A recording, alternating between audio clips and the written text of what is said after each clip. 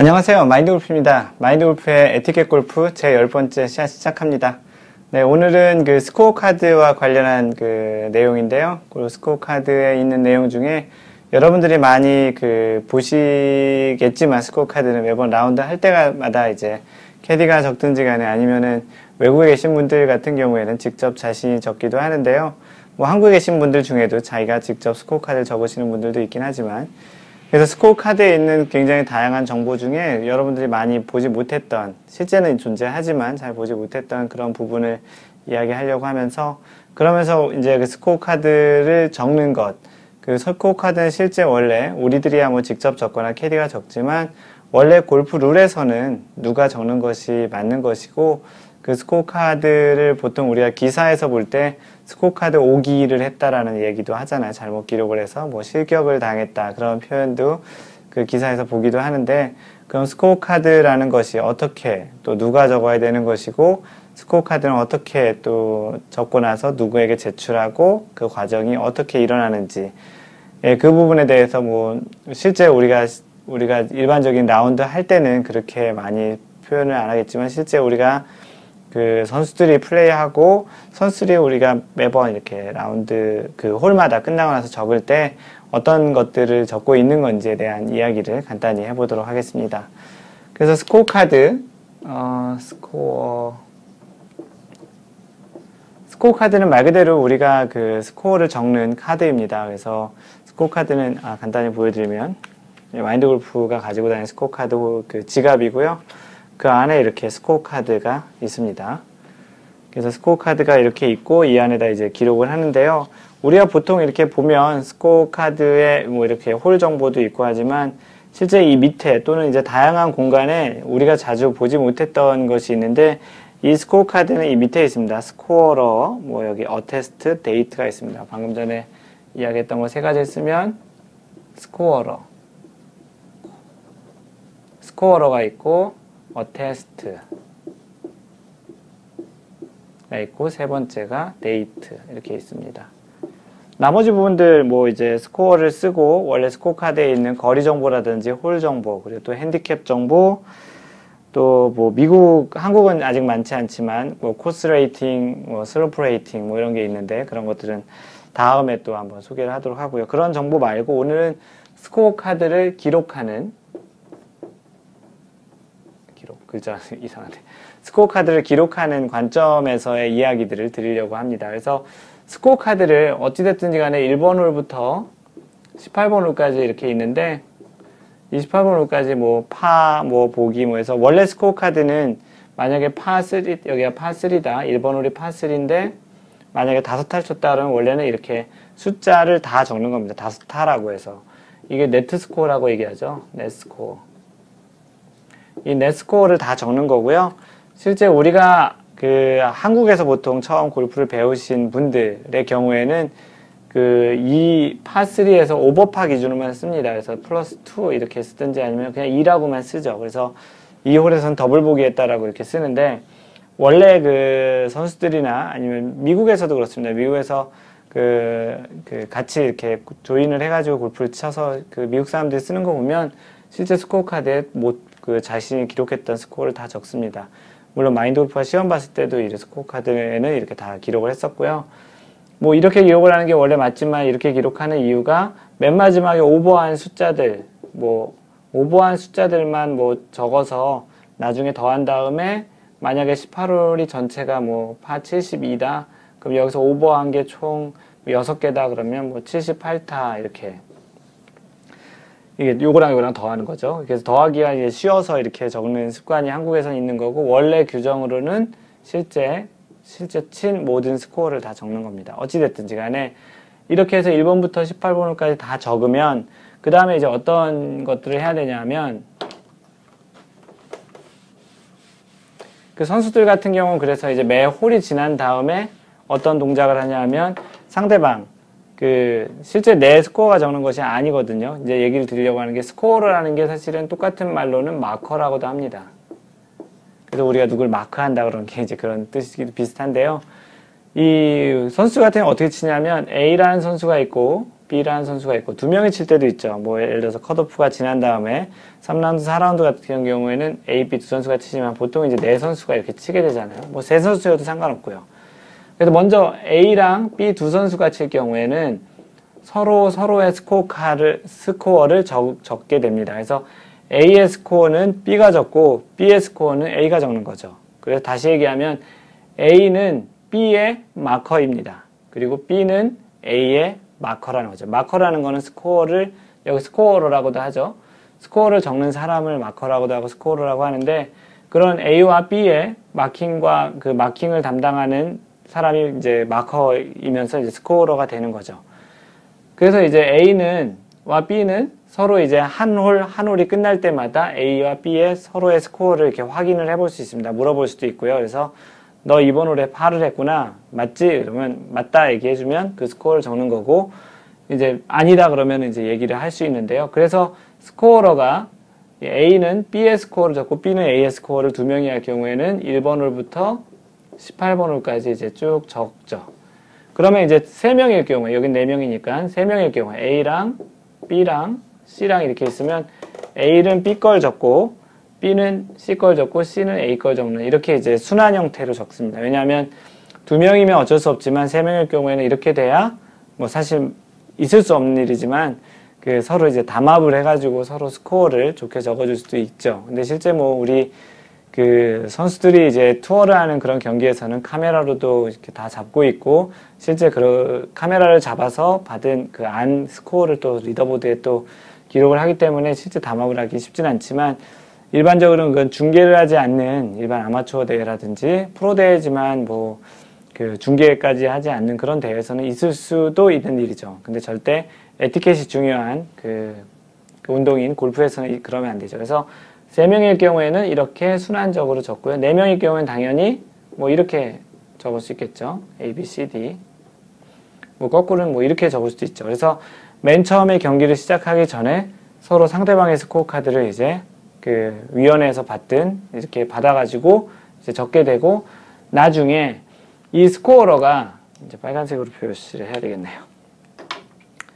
이 scorer가 이제 1번, 1번홀부터 18번홀까지 다 적었어요. 1번홀부터 18번홀까지 다 적으면 scorer는 이제 다시 자신이 다 적었으니까 그 밑에 이 스코어 카드 밑에 보면 이 부분에 있거든요. scorer. 그래서 이 scorer 부분에 이제 사인을 합니다. 그래서 아, 나는 내가 다 기록을 다 했다라고 어떠한 사인을 하죠.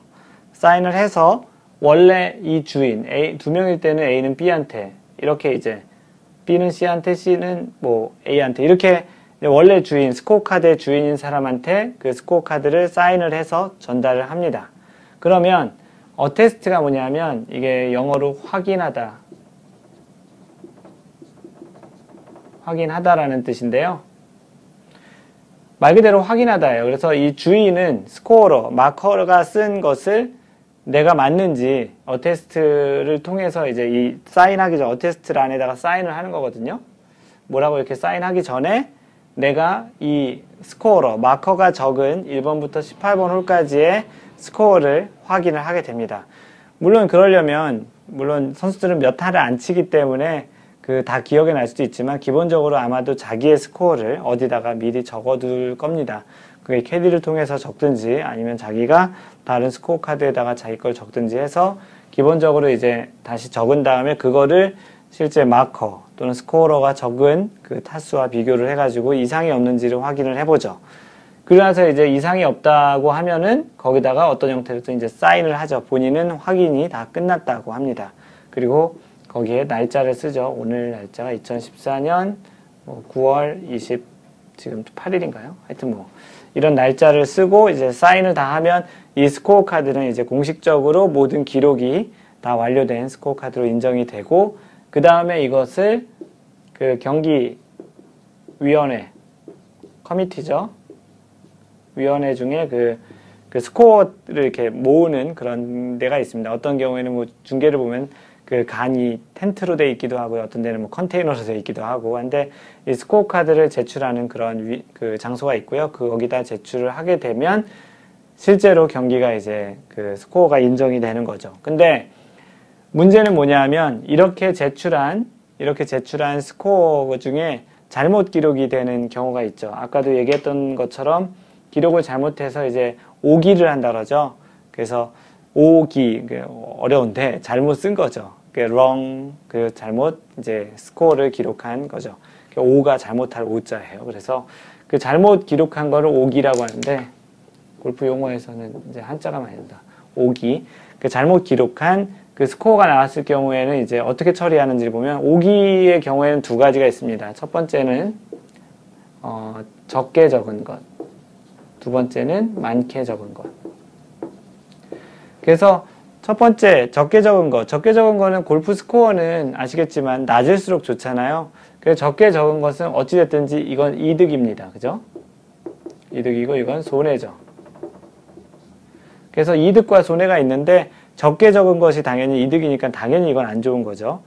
그래서 만약에 적게 적었다면 중요한 거는 스코어가 적게 적든 그 어테스트가 확인을 못했든지 간에 결과적으로 스코어 카드를 이 위원회에 제출하고 났는데 그 스코어가 적게 적혀 있었다면 그것은 일단 무조건 판정이 DQ라고 합니다. DQ. DQ가 뭐냐면 disqualified예요. disqualified. 그래서 실격이라는 소리입니다. 만약에 원래 스코어보다 원래 자신이 친 스코어보다 적게 기록을 했다면 이제 disqualified 실격이 되는 거고요.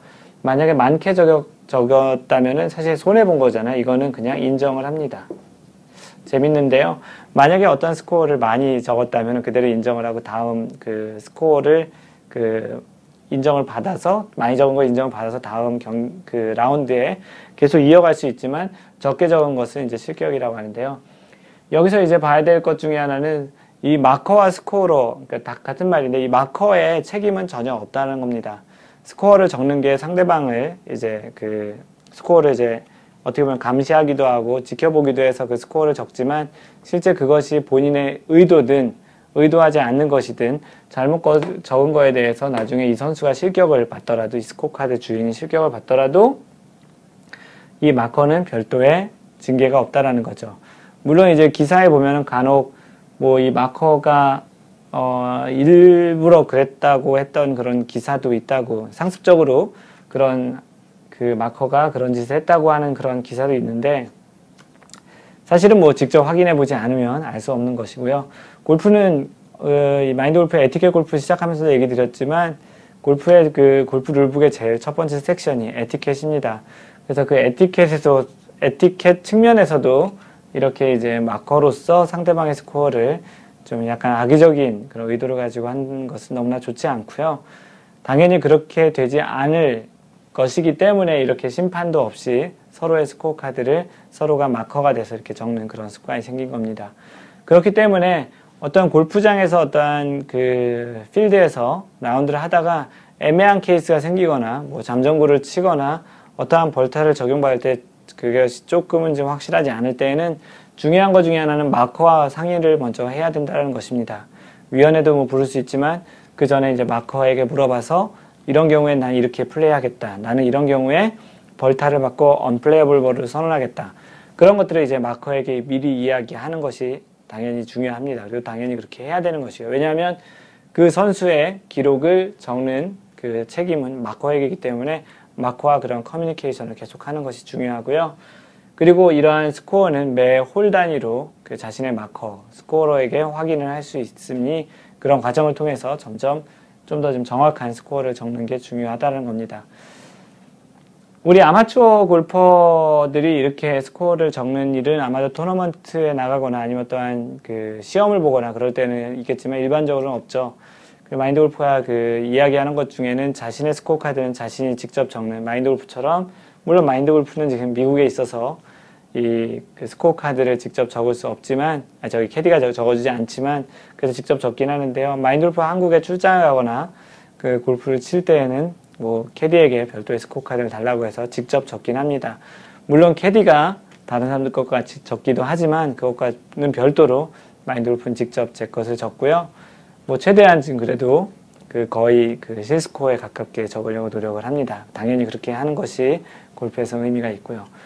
그래서 여러분들도 이제 뭐 참고 삼아 선수들이 뭐 이렇게 주머니 이렇게 주머니에 이런 스코어 카드 홀더랑 같이 yardage book이랑 같이 이렇게 넣고 다니는데 홀이 끝난 다음에 이렇게 적는 것들은 물론 자기의 스코어도 참고로 적지만 중요한 것은 상대방 자신의 마커 자기 자신이 마킹을 해야 되는 그 선수의 스코어도 이렇게 적는 것이라는 것을 중계 보면서 한번 확인해 보시고요. 여러분들도 이제 또 앞으로 골프를 계속 그 치러 나가면은 별도의 카드 스코어 카드를 달라고 해서 직접 적는 것도 좋습니다.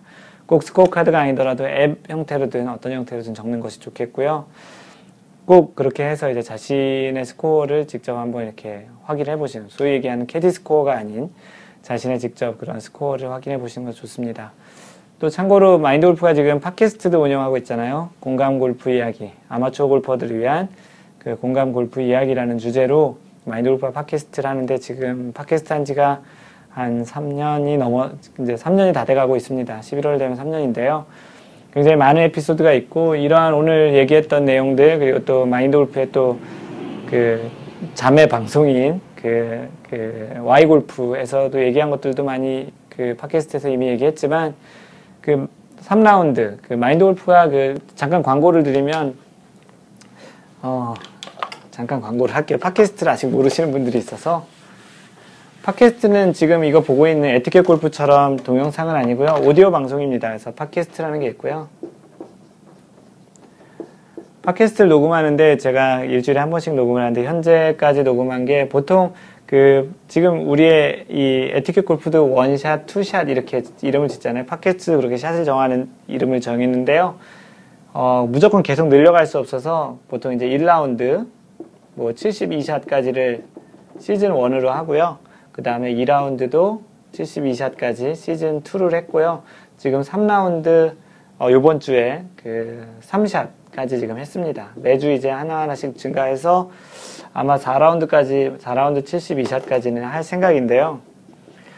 현재 이 3라운드를 진행할 때 2라운드까지의 그러한 그 요청 사항으로 3라운드 때는 뭘 하냐면 마인드 골프가 읽어주는 마인드 골프가 읽어주는 골프 룰북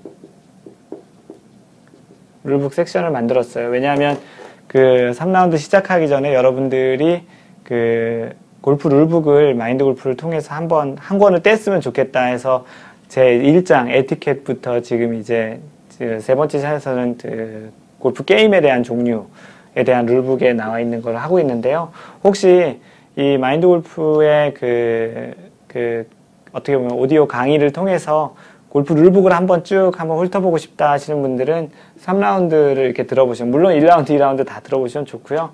3라운드를 통해서 들어보시면 마인드 골프와 이런 에티켓 골프 또 룰에 대해서 이야기하는 이런 내용과 좀 중복일 수도 있는 부분이지만 그 골프 룰북을 처음부터 끝까지 이렇게 한번 쭉 훑어볼 수 있는 좋은 계기가 될 겁니다. 물론 다른 그 에피소드들도 다 골프 이야기들이고요. 골프의 기, 본적인 뭐 오디오 방송이니까 스윙이나 그런 걸 보여드릴 수 없지만 마인드 골프가 바라보는 골프의 그러한 그 관점, 철학, 또 그 심리적인 그런 골프를 그 멘탈 운동이라고 하니까 그런 마인드 골프를 할 수 있는 그런 방법, 또 그리고 지금 이렇게 하는 것처럼 에티켓, 또 룰 이야기들을 많이 해드리니 그냥 이동 중에 또 운전 중에 또는 아니면 뭐 운동하시면서 이어폰을 들으시 그 동영 오디오니까 그렇게 이제 들으시면 훨씬 좀 좋을 것 같습니다. 그래서 잠시 마인드 골프의 마인드 골프의 그 팟캐스트 광고를 잠시 해드렸고요. 네, 오늘은 그래서 이 스코어 카드와 관련된 것 중에 스코어 카드는 누가 적는 것인지, 그리고 스코어 카드에서 그 표시되어 있는 스코어러 attes, 네, 스코어러 attest 그, 그런 뜻이 무엇인지, 그 스코어 카드에서 또 만약에 잘못 적었을 때는 실제 선수들은 어떤 그, 그 벌타나 어떠한 또 그냥 또 그 처리를 받는지 그런 것들에 대해서 이야기를 해드렸고요. 그 마인드 골프의 에티켓 골프는 이렇게 이제 앞으로도 계속 그 룰과 또 에티켓 이야기들을 계속 해드릴 겁니다. 그 팟캐스트도 방금 광고 해드린 것처럼 많이 좀 들어주셨으면 좋겠고요. 어, 다음번 제 열 번째, 지금이, 아, 어, 열 번째니까 열한 번째 샷에서 만나야 되겠네요. 다음번 에티켓 골프 열한 번째 샷에서 만나요. Don't worry, just play mind golf. Bye!